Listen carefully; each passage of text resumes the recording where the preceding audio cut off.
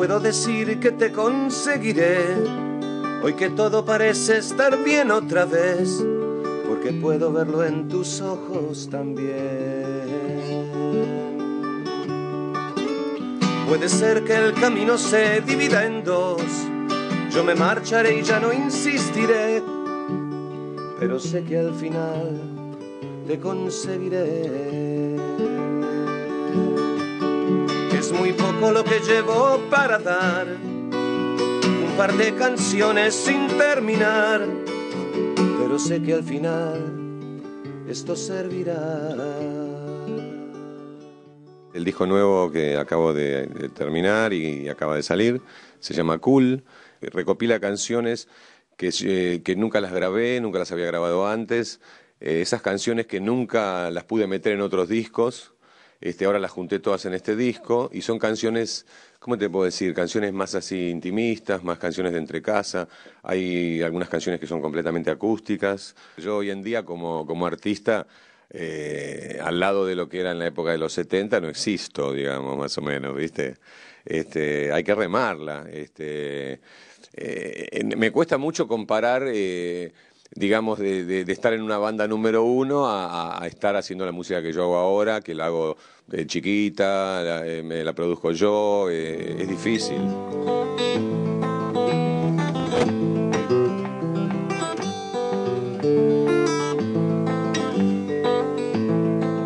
Cuando Charlie me llamó para tocar en la máquina, claro, él se separaba de Sui Generis, este, estaba a tope, estaba, estaba en el top, Charlie.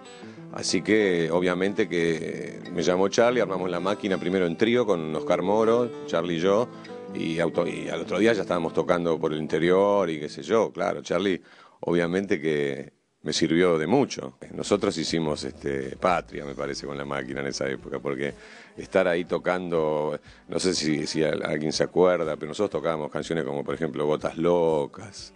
Eh, había que tocar esos temas en los 70, ¿viste? Había una complicidad muy grande entre el público y nosotros, por ejemplo, ¿viste? Eh, y bueno, y había que tratar de tocar esas canciones. Eh, aparte, Charlie siempre trataba de hacer eso, ¿no? Y todos, este, de, eh, tocábamos tres canciones y tratábamos de meter una así, ¿viste? Era, la, era la, forma de protesta que teníamos de nuestro lugar, ¿no?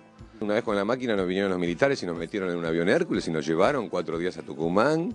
Y, bueno, nada, no podías negarte, ¿viste? Tuvimos que ir en un avión militar, yo no entendí nada, llegamos con el avión eh, rodeado de tanques, nos bajaron ahí en Tucumán, nos llevaron a tocar para 8.000 soldados, una cosa impresionante. En la máquina yo creo que eh, los cinco aprendimos mucho porque, porque éramos un grupo muy competitivo entre nosotros también, ¿viste?